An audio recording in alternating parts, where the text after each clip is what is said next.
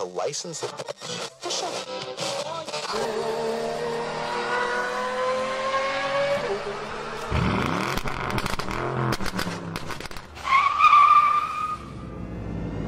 Meep meep.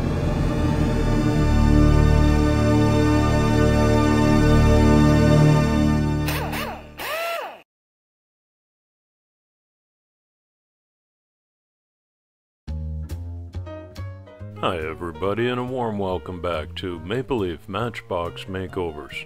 I'm Andrew, and on the bench today is a 1 to 58 scale Matchbox 1968 Toyota Land Cruiser FJ40. It's a tough 4x4 that I've never driven, but would absolutely love to own. I live in Switzerland, which is a natural wonderland, and this looks like it would take me anywhere up mountains, through the mud, ford in rivers. This one's not in terrible conditions, got a little bit of chip paint here and there, but it's kind of light on the details. I'm going to respray it and jazz it up with some exterior details and a couple of DIY add-ons to make it a real 4x4 action vehicle that any little boy would love to take on an adventure trek in his backyard. Enjoy this makeover. If you like the video, please give it a thumbs up and subscribe to my channel and hit the notification bell for regularly updated content. It's free, and your respectful comments are always welcome.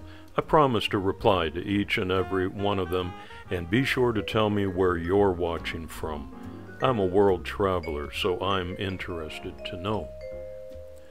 Several new subscribers have found my channel and told me that they are watching and learning and taking notes on the steps to do a little die-cast makeover, same as I did when I was just starting out last spring. So that's why I include all of these little details in my videos. I realize that many of you already know how to drill out a post and use a Dremel tool, but I want you to stay tuned as well for a couple of upcoming build announcements, and some new channel features that will be right at the end of this video.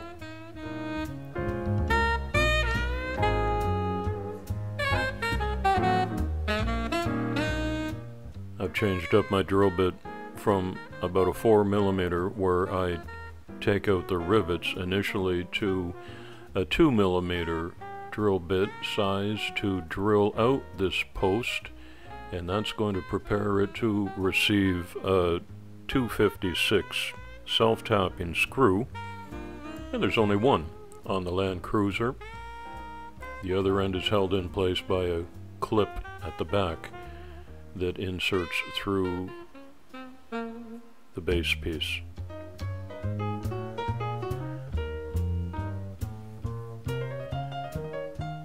The year 2020 is coming to a rapid conclusion, and thank goodness for that. What a crazy year this has been, but it's the year that I got started in this hobby, so I have some fond memories.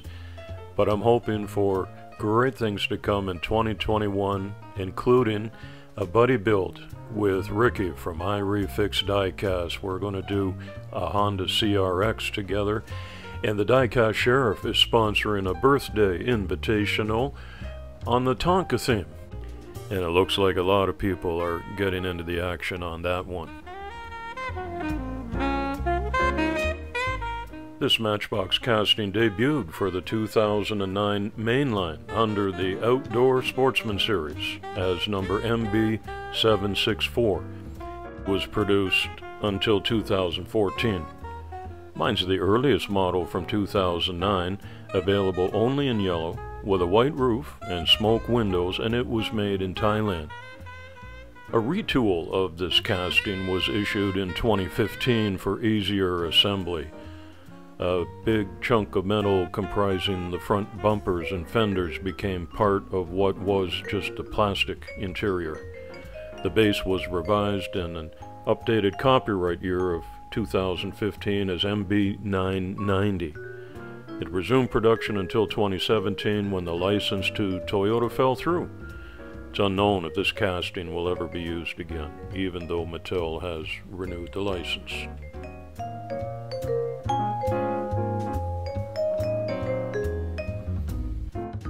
So far so good on the Land Cruiser build, with all the standard steps that I usually take, including the rejuvenation of a worn out scratched up windshield. Looking nice after a dip into the Pledge Revive It. But I want you to watch as I handle crushing setbacks, overcome adversity, and triumph in the... Oh, just wait a minute. That was the Netflix blurb for Rocky 4. Uh, but I do have a couple of problems that I'm going to handle here. Paint stripping is not one of them. This slides off like zombie skin. And down to the bare metal work, I often take an X-Acto knife and just pick out from the casting lines and shot lines some residual paint and whatever I can't get with that I do away with it with the wire brush attachment on the Dremel tool.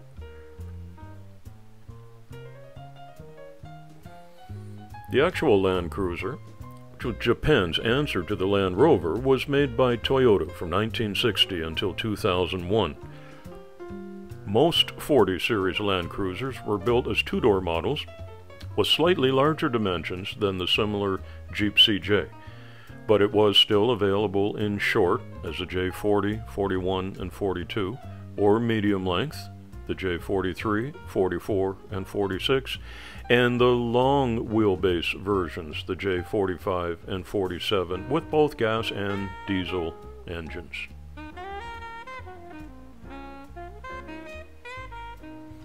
This looks like a blank canvas now, doesn't it? It's a satisfying moment. I like to just turn it over in my hands and look at it before it gets a shot of degreasing and a rub down with the shop rag and into the paint booth.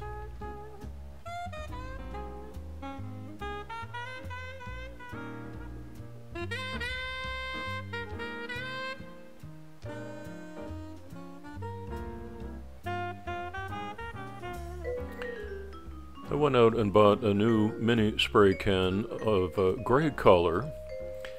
I'm applying it here and discovering it's just slightly lighter than what I really wanted. Didn't quite match the color on the cap of the rattle can. But nonetheless, I'm going to go ahead and work with that. You see all kinds of different color palettes that are available. And I decided to launch into the DIY styrene manufacturing process and make a cargo rack for the top of the Land Cruiser. I did a few measurements, fashioned a base, put some posts in there using a pin vise. And I found that taking a thinner piece of styrene I could just bend those edges the way that I wanted them and this is what I came up with. A couple of roof racks to hold it in place and I'm not going to permanently affix those so this will be able to be put on and off. And what's this? Is it a Christmas stocking? Is it a Canadian hockey stick? No, it isn't. It's a snorkel for the side of the Land Cruiser. What do you think? Just having having some fun with my hobby. Matte black on all of these uh, accessories so that they will stand out against the gray paint job. When they're this small, I use a fine brush instead of spraying.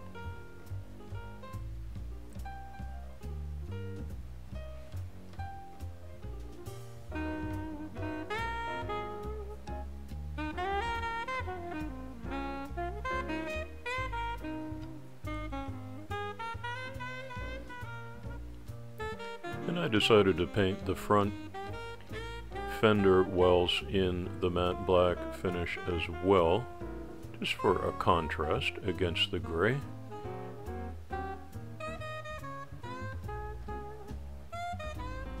And once again, I am using my X-Acto blade, just the tip, and I have discovered that scraping off the paint gives me a much more accurate finish on all of these chrome hinges and buckles and latches than trying to apply paint with a brush.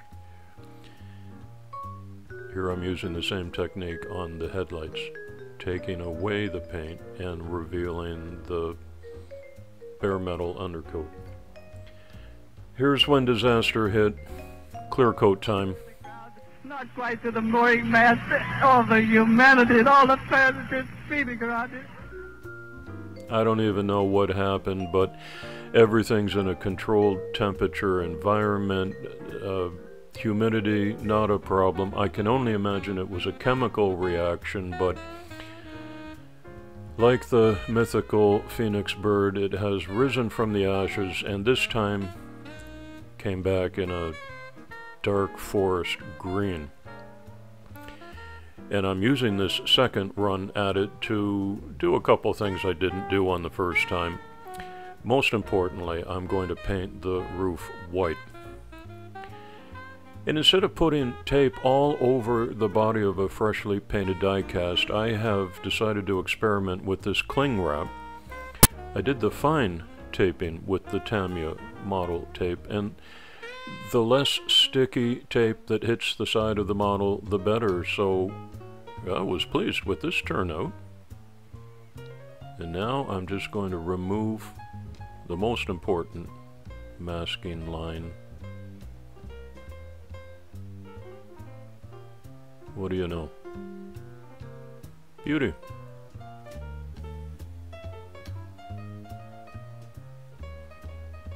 If any touch-up is required, I can just put a little dab of white or forest green on the end of a paintbrush and give it a touch.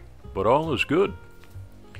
And I'm back in the saddle and resuming with a little bit of detailing on the undercarriage.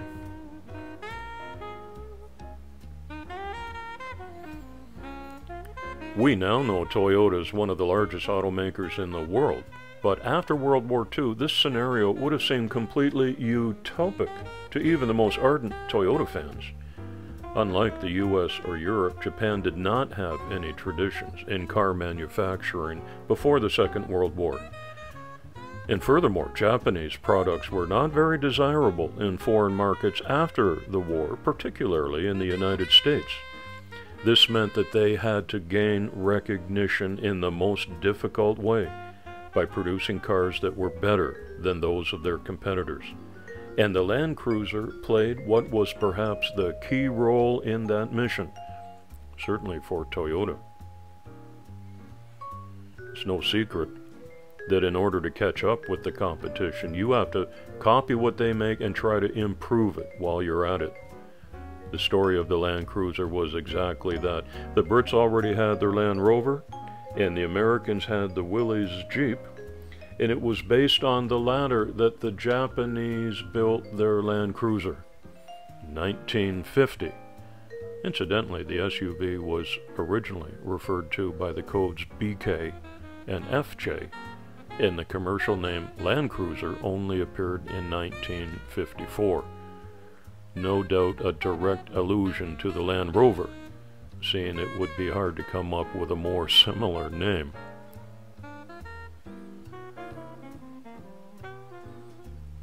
Putting some Citadel Nuln oil on the casting lines here, and that simply brings out a little bit of the detail and a weathered look. We're ready to put it back together. Snorkels on.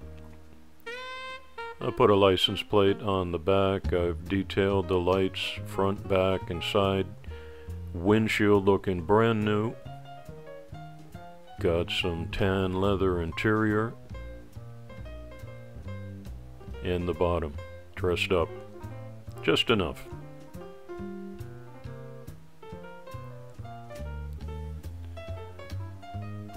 we already know everything fits well because it's been pre-drilled and the screws were tested. But I want to make sure all the parts are setting in correctly. And a little click is always a good sound to mean all is well. Let's have a closer look.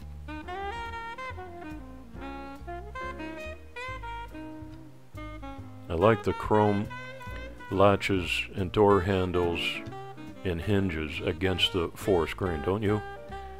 Original wheels. Tail lights, reverse lights done up. Just a bit of a highlight on the bottom.